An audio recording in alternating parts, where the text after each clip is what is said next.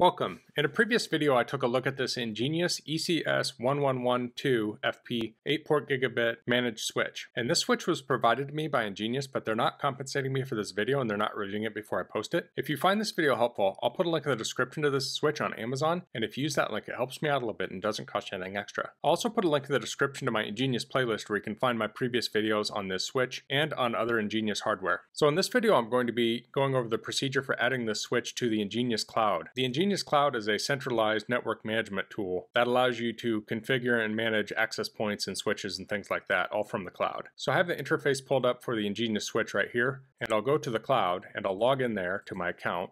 I'll hit sign in. And I currently have one switch configured. So I'll click on the little building icon in the bottom left. I'll go to inventory and license. I'll click on register device. And now we need to supply the serial number of the device. So I'll copy that from the summary page. You can also find that on the bottom of the switch itself.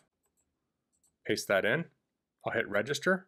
It says success. I'll hit done. So now I can add this switch to my network. I'll click on the manage icon on the left and I'll go to switches. I'll click on add from inventory. I'll select the switch. I'll hit apply.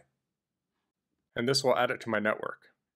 Okay, so I've waited a few minutes, and if we click on this now, it's giving us a status of it. So it's showing the IP address and the WAN. So now we can see which ports are being used. The green is 1 gigabit, the orange is 100 megabit. We can see which ports are using PoE. We have PoE on 2 and 3. I'm not sure why port 8 is 100 megabit. I'll have to look into that. Maybe the cable I'm using is not very good. And port 9 is the uplink to the router. So at this point, you can go over to the gear icon, and you can go down to the switch settings, VLAN settings, etc and do the configuration on this switch. So that's all I'm going to cover in this video. If you have any questions, please leave them in the comments. If you like this video, please click like.